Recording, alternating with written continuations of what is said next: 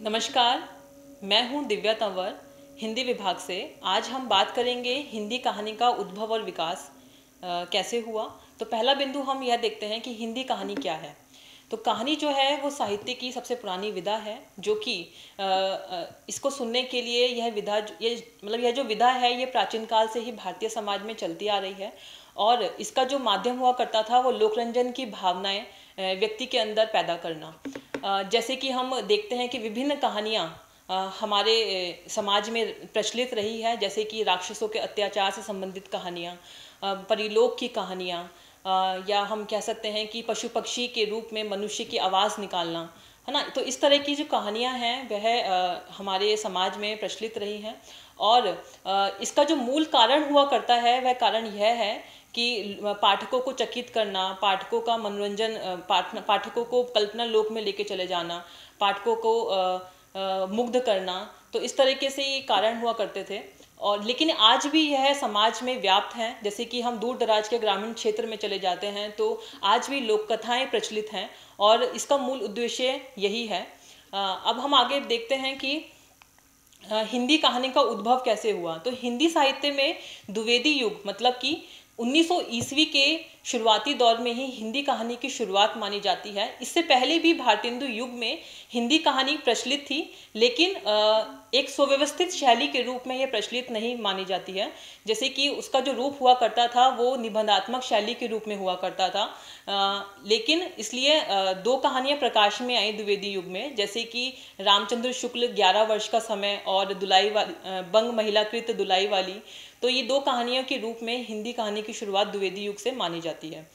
लेकिन इससे पहले प्रारंभिक तीन कहानियाँ प्रचलित थीं, जैसे कि सैयद इंशाल्लाह खां की रानी केतकी की कहानी, सदल मिश्र नासिकेतोपाख्यान और शिव प्रसाद सितारे हिंद राजा भोज का सपना। ये प्रारंभिक तीन कहानियाँ थीं, लेकिन सुव्यवस्थित शैली के रूप में यह कहानियाँ नहीं थी, इसलिए इसे प्रारंभिक कहानी तो माना जाता है, लेकिन हिंदी कहानी की पहली कहानी के रूप में इसे नहीं माना जाता। अब हम बात करते हैं कि हिंदी साहित्य की प्रथम कहानियाँ कौन कौन सी रही हैं और उसके प्रस्तोता कौन से रहे हैं। तो सबसे पहले हम प्रस्तोता पर बात करते हैं। चार प्रस्तोता हैं, रामचंद्र शुक्ल, दूसरे हैं बच्चन सिंह, तीसरे हैं राजेंद्र बाड़वालिया और चौथे हैं देव देव शर्मा। तो रामचंद्र शुक्ल कहते हैं कि इंदुमती जो है वो पहली कहानी है। और बच्चन सिंह कहते हैं कि परिणी, परिणय पहली कहानी है। और जो राजेंद्र बाड़वालिया है, राजेंद्र बाड़वालिया कहते हैं कि जमींदार का दृष्टांत पहली कहानी है। और लास्ट में देव शर्मा जी कहते हैं कि एक टोकरी भर मिट्टी पहली कहानी है। लेकिन हिंदी साहित्य में जो पहली कहानी हम मानते हैं, वह मानते हैं ग्यारह वर्ष का समय, जो कि रामचंद्र शुक्ल द्वारा लिखित यह कहानी है।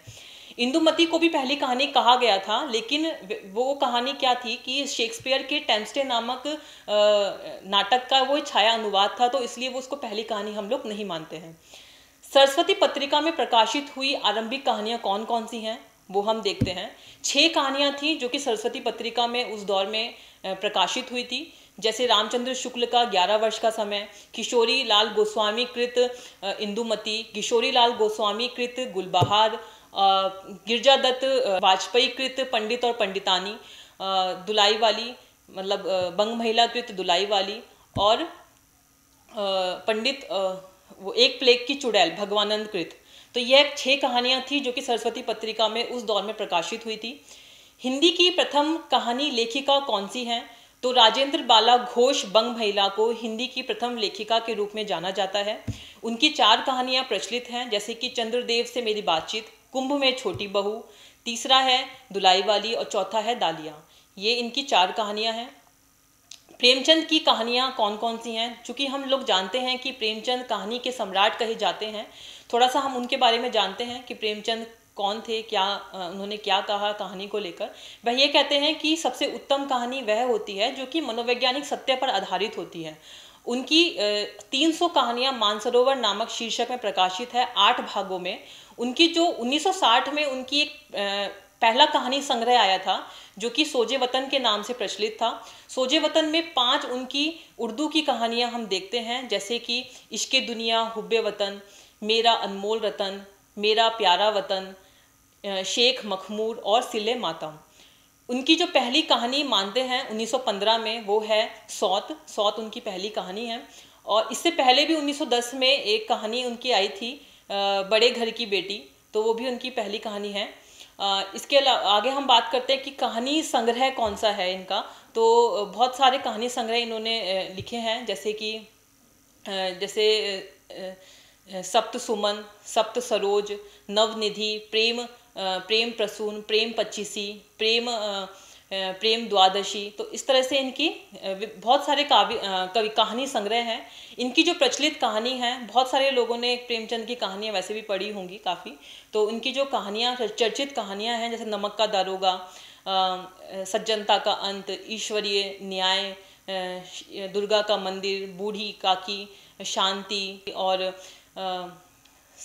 ईदगाह, कफन बड़े भाई साहब तो ऐसे शतरंज की, शतरंज के मोहरे, मुक्ति पथ, मुक्ति मुक्ति धर्म, ऐसी बहुत सारी कहानियाँ इनकी जो कि प्रचलित हैं। आगे हम बात करते हैं कि प्रेमचंद युग के अन्य कहानीकार कौन कौन से हैं। तो प्रेमचंद युग के जो कहानीकार रहे हैं जैसे चंद्रधर शर्मा गुलेरी जिनकी तीन कहानियाँ हैं, सुखमय जीवन, बुद्धू का कांटा, उसने कहा था, जयशंकर प्रसाद, जो कि प्रेमचंद युग के कहानीकार रहे हैं उनकी भी उनकी जो ग्राम है, उनकी पहली कहानी है, छाया कहानी संग्रह है इनका। इसके अलावा प्रतिध्वनि इंद्रावती, जो कि इनकी अंतिम कहानी के रूप में हम देखते हैं, इससे पहले आंधी भी इनकी कहानी है।